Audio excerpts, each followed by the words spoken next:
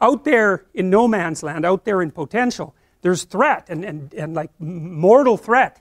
But there's also endless opportunity and riches and wealth and, and, and the possibility of attracting someone and all of that. And so, well, the dragon, you can't just be afraid of it. You just stay in your burrow the whole time. And lots of animals more or less do that, you know, they, especially the nocturnal ones. They just hide away.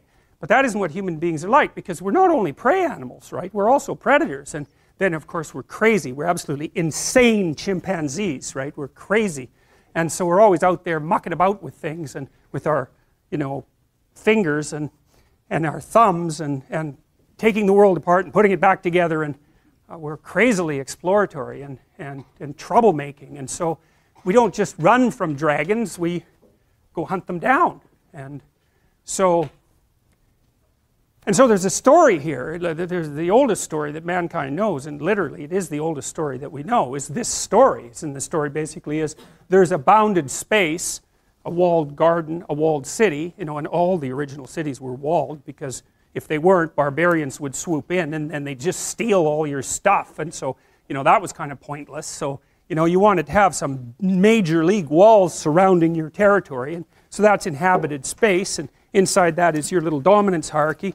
And so all you primates knew exactly who was who inside that space, so you didn't have to fight with each other, and you could predict each other's behavior because you believed the same things and saw the world roughly the same way and acted the same way, and so you were sort of secure. But then the problem is, is that that can always be breached. There's always something outside of it that's a danger, and so that's signified by this, this little creature here, this, this dragon. And that, that twirl in its tail is very common among dragons. It's actually it's actually a symbol, because you know, imagistic languages, imagistic symbols have a, a, an ancient language, and it, it, it, it's, it's referring to something that's basically eternal. And see, it lives down here in this, in this cave, because it's an underground thing. It's an underground thing. And you can kind of imagine what that's like, and sometimes this happens in initiation rituals among archaic people. They're to, when they're going to initiate, usually the young men, because nature initiates women all by itself, um, usually the young men, maybe they'll put them in a cave and leave them there, you know, for like, well, who, who knows how long. And so you got to think, what's in a cave? Now, caves are dark, man. I don't know if you've ever been in one, but like they're dark and they're really dark. And so not only is there whatever there is in the cave, and you don't know what the hell's in the cave, there's whatever you imagine might be in the cave. And so when you're in that cave and you're alone, you, you're confronting the devils and demons and monsters of your own imagination, you know. And so then you have a chance to perhaps deal with that and overcome it. And that's perhaps part of the initiation ceremony, you know, and that's part of growing up because you have to learn how to face the things that terrify and upset you and, and recast them and put them back together. We talked a little bit about this idea of the pre cosmogonic chaos that, um, that uh, Eliade refers to, and, and that's the stuff out of which order is produced at the beginning of time. And it's also the stuff out of which you constantly reproduce order. And the, the Jungians, the psychoanalysts, especially the, the really deep psychoanalysts like Jung, Freud was a more surface psychoanalyst, and that's not an insult. There's some things that Freud figured out that are absolutely amazing. He was a precursor to Jung for sure. For Jung, the hero's journey was the journey inside the unconscious, and that would be perhaps in some sense the, the, uh, the, the willingness to face everything terrible that's happened to you and to think it through and to articulate it and, and to come to grips perhaps with your own capacity for malevolence. That was a really important part of Jungian ideas. That the first step towards individuation, which is the manifestation of your full self, let's say, was the discovery of your shadow. And your shadow is the part of you that will do terrible things under the right circumstances and maybe even without that much provocation. And you know, and it's a terrifying part of you to come into contact with because it's sort of, it's sort of the way that you're specifically attached to the archetype of evil. That's a, that's a good way of thinking about it. And, you know, modern people, they don't really think much about, think much about the idea of good and evil, but that's because the, most of them are so damn naive, you can just barely even comprehend it. You know, if you read any history, if you really read it, like, and you, and you don't come away with the idea that evil exists, it's like, you're just reading the wrong kind of history, you know. It's just unbelievable what people can do to each other. And we're so imaginative, you know. And one of the things I figured out about people, the reason that we're we have the knowledge of good and evil, let's say, is that because we're self conscious and we know about ourselves, we, we know about our own vulnerability, right? You know what hurts you. You really know what hurts you, way more than an animal knows. And so, and you're also creative. And so, once you know what hurts you, man, you can really hurt someone else.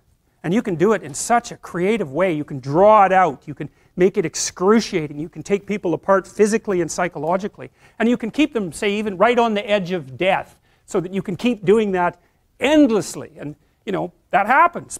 Hell of a lot more than you think it happens. It happens a lot.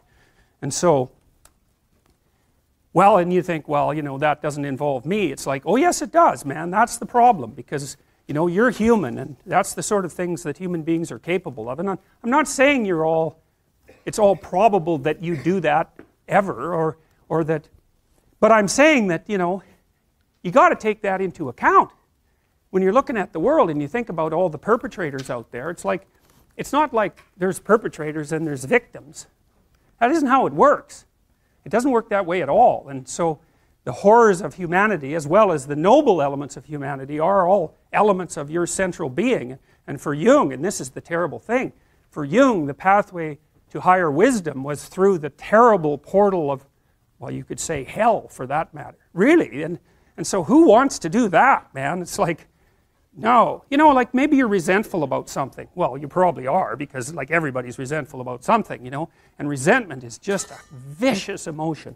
It's really useful it's really useful because if you're resentful about something, it either means that you should grow the hell up and accept the responsibility and quit sniveling around and whining, or it means that someone actually is oppressing you and, and pushing on you too hard and bullying you and demeaning you, and you have something to say or do that you're not saying or doing. And no wonder you're not saying or doing it because, you know, can be really dangerous to say things or do them to free yourself from, from being oppressed. You can get in a lot of trouble in the short term for doing it. So it's easier just to not say anything, sort of day after day.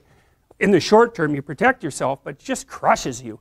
And then the, the resentment comes up, and resentment, man, that can just get so out of hand. You know, it starts with resentment, and then it starts, it, it goes to the desire for revenge, you know, because you'll play nasty little tricks on the person that's oppressing you. At any chance, you'll talk about them behind their back, and if they want you to do something, you'll do it badly, or you'll do it grudgingly, or you'll do a half-rate job, and you'll set up little traps, and you know, so it puts you in a poisonous space. And then if that, if you really start to dwell on that, say, in your basement for three or four years about just exactly how terrible the world is and how that's focused on you and how everyone's rejected you and how you get to this point where you're thinking that you know existence itself is a kind of poisonous endeavor and that the best thing for you to do is go out there and do as much, you know, create as much mayhem as you possibly can.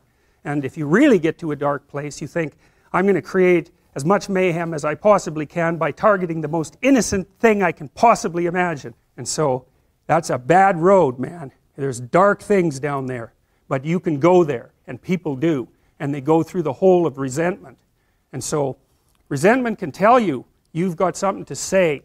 You bloody well better say it. You gotta free yourself from what's oppressing you. You have to stand up for that because otherwise you become oppressed. And then once you're oppressed, that's just not so good. And so, like in your marriage and your relationships, you got to tell people what you're thinking. You don't have to assume you're right.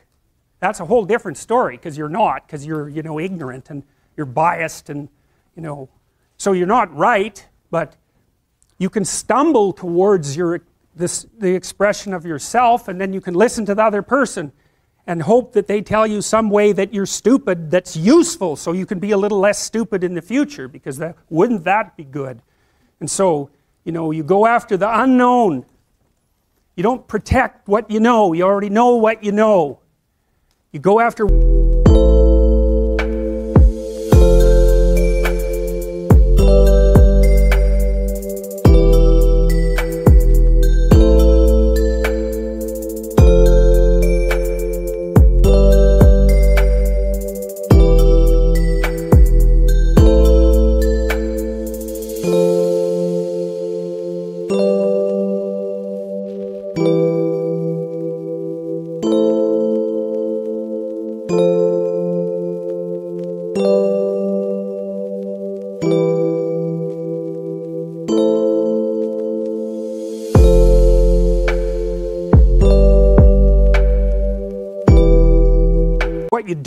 That's why you have to talk to people you don't agree with. That's why you have to talk to your enemies. Because they're going to tell you things you don't know. You could even listen to them. It's possible they know a thing or two you don't know. But people don't like that, you know. They just talk to people who think the same way. And then they just stay stupid. And so that's, and that's not good. Because if you're not wise, the world will wallop you. It'll flatten you. And, and far more than it has to. And then you'll be bitter and resentful. And you'll be part of that force that wallops instead of the force that fights against that.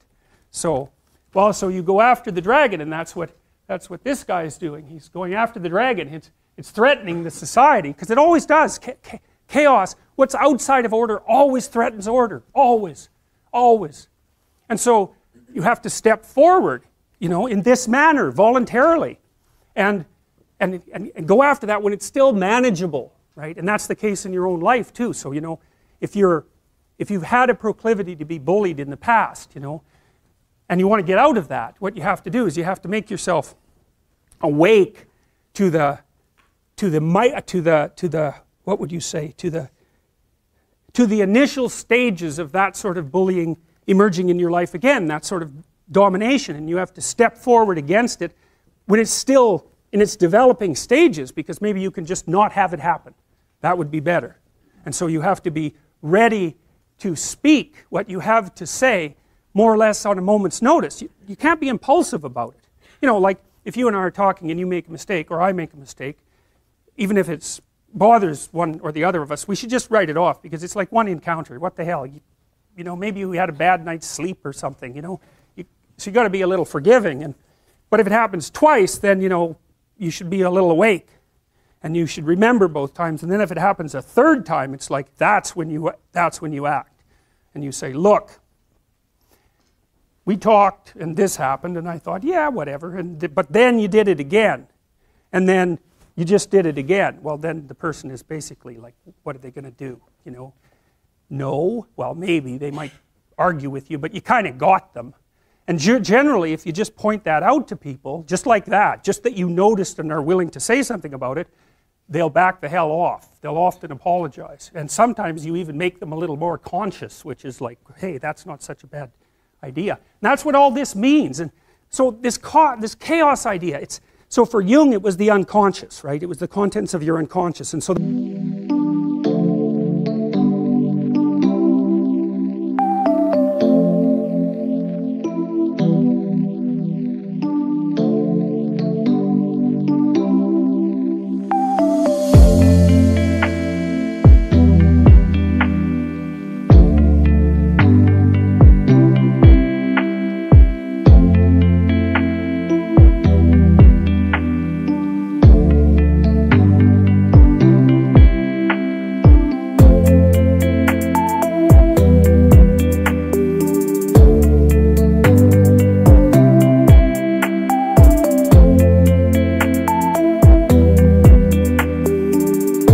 unknown past, the threatening past that you have never dealt with, might be the threatening future.